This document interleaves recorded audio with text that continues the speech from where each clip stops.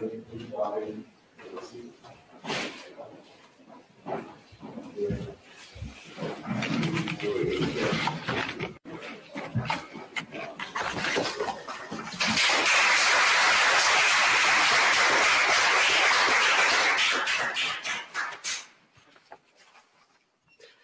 seated.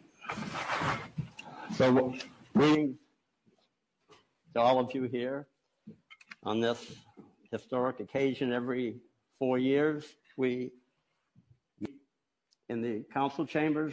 This will be the 27th time that the electors have met in this room. And the, the electors meet uh, today, as they are across the country, and it uh,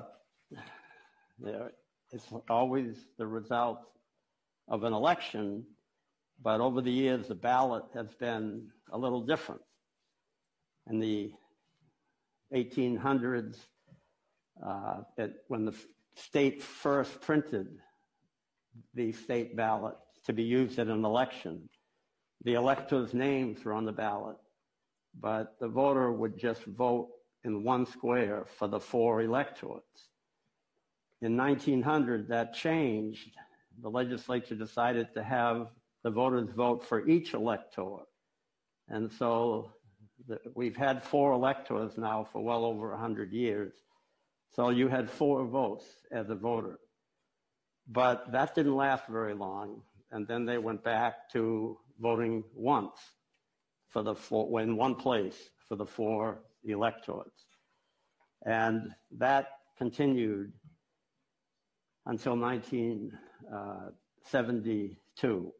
And in 1972, the wording vote for the electors was removed from the ballot, and it just became voting for president and for vice president. The uh, so first thing I want to do is welcome our governor to come to these proceedings, His Excellency, the governor.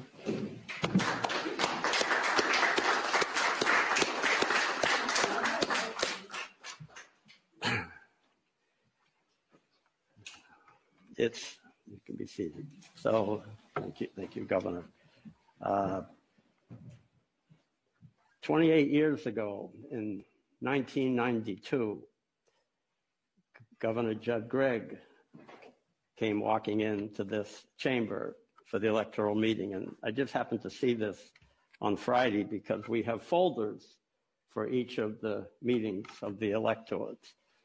And in the clipping of that day, it mentioned that Governor Gregg welcomed the four electors they happened to, to be Democratic electors because, and it had been the first time in 28 years that Democratic electors were going to be casting the New Hampshire votes.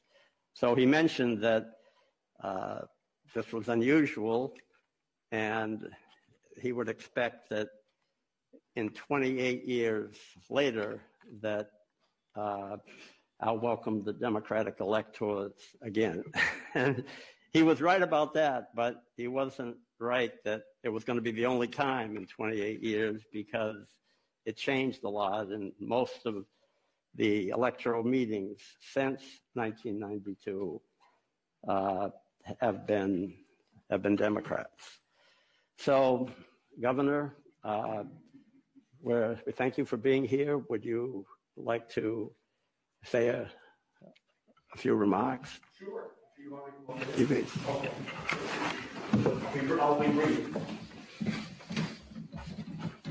Well, again, I, I, just obviously it's a very historic day. It's obviously great to be here and, and great that we can be here, obviously, given the very trying times with having to wear masks and social distancing, but still to be able to do it here in the council chambers, I think is, is very important. It really is. It's not just out of tradition, but to show uh, folks uh, especially now more than ever, um, our system works, especially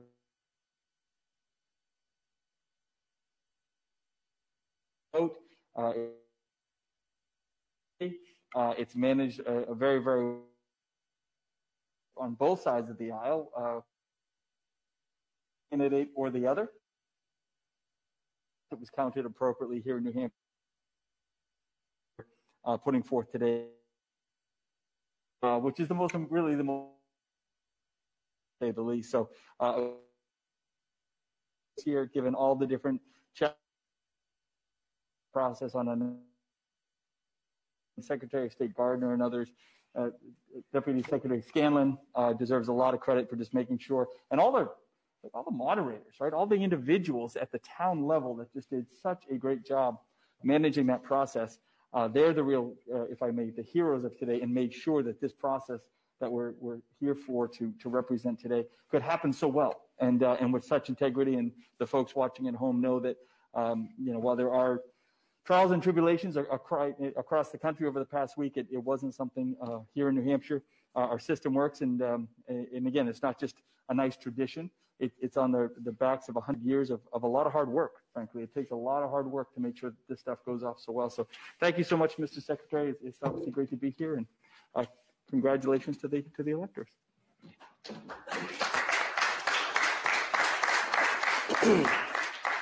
Thank you, Governor the voters came out, as we all know, in huge numbers, many, many more than we've ever had uh, had had before in another election, and it, uh, it